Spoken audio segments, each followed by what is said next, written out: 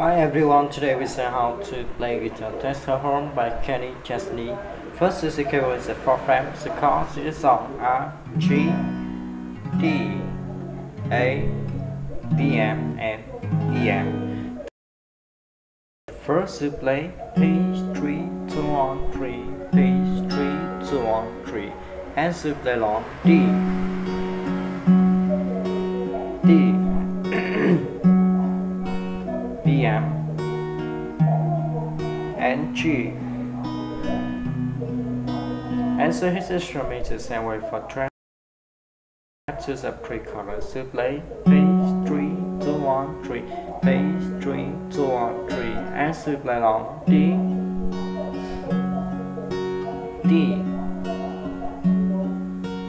BM, G,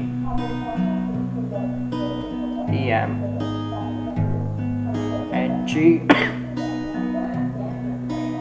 his instrument is the same way for track to the to play down down up up. Down down down. Down down up. Down down down. Up and play long D. D. EM and G so this is the same way for track. Thank you for watching and see you again. Bye bye.